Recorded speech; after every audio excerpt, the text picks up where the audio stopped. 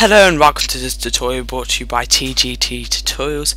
And today I'm going to show you how to create the bokeh or bokeh or bokeh effect, there's many ways of pronouncing it these days, in Photoshop any version I believe works if you have the brush tool present with many different features you can choose on from. The first thing you want to do before you get started is find a very decent sized big image so it's not like blurry or anything and you have to zoom in to actually see it.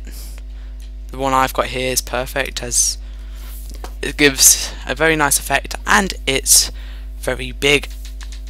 Preferably you could also have a darker image so the bokeh effect works even more. So the first thing you want to do in this tutorial or what you, in your Photoshop is create a new layer. You don't have to name it anything but I'm just going to lay it name it. Bokeh. Layer 1 as you can see there.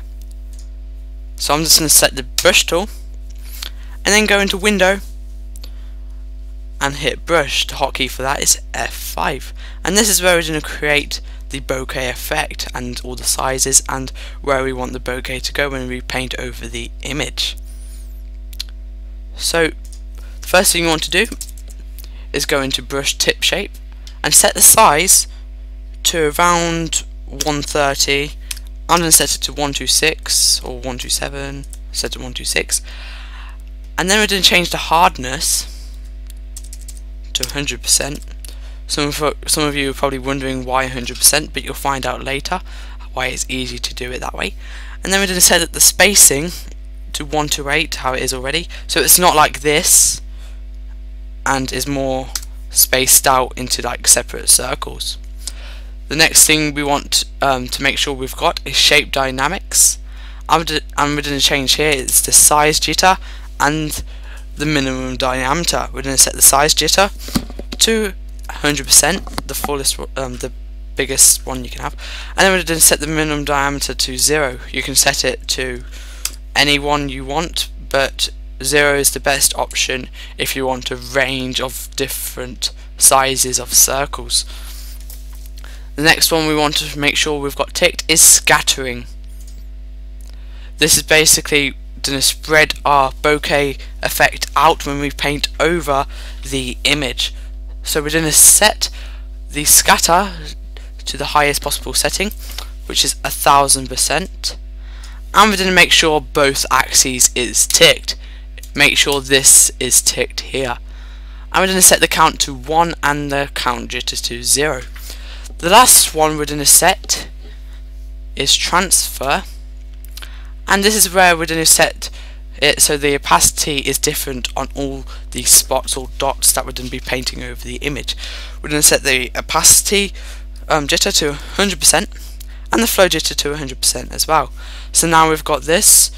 You could save um, this brush if you want by clicking new and then naming it bokeh or whatever you want to name it. But I'm not going to name it as I've already got it um, in my saves. So now we've got that. We've got the brush tool. Just going to increase the size of it. And we're just going to paint over. Oh that's way too big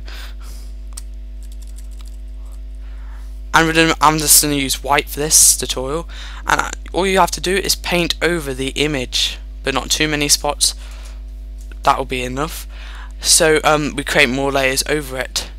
So before we before we start adding any blurs or Gaussian blurs to it we're going to convert this to a smart object by basically going to um, filter or convert to for smart filters or left clicking it and going or right clicking it and clicking convert to smart object. This then gives us the advantage of changing the blur on the spots if we want to change it later. So now we've got that we're going to go into filter blur and Gaussian blur. I'm going to set this to around 5 pixels so it's not too much blurred out and it still stands out from the image. Now I've got that you can now change it without starting all over again. That's why I like the smart filters. So now we've done that, we're not going to keep it normal, we're going to change this one to overlay, as you can see here. Now that isn't enough spots and it's still some missing some features in this background. Apart from being the background being blurred out, it needs some more bokeh effect. So we're going to add a new layer. You can call this bokeh layer 2 if you want. 2. And then before we get started, you can convert it to a smart object so we can change it later if you want to. And then we're going to filter, blur. Wait, before we do that, we're going to set the layer. And we're just going to paint over the background again with more bokeh. Now we're going to go into filter this time. Sorry about that before. I'm going to blur Gaussian blur and set this to a higher blur than before around 9 pixels if you want and now we've got that we're going to set this one to soft light this time but it's still missing it as you still missing some effects as you can't really see the bokeh at the minute we're going to add one last layer of bokeh. I'm just going to keep it layer 1 because it's wasting time me keep naming them. Set the brush tool, increase the size of this one, bigger than the other ones. And then I'm just going to paint, that tool's too big apparently. I'm just going to paint over this, is that too big? I'm wondering. Why is my Michael? Yep, that's way too big. I'm just going to paint over it one once more time and I'm going to go into convert to smart object and then go into filter blur and Gaussian oh wrong one. Box blur. Gaussian blur.